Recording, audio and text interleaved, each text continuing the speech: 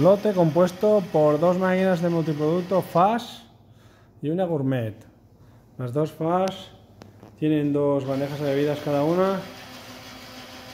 Están en perfecto estado. La Gourmet es de exposición. También en perfecto estado.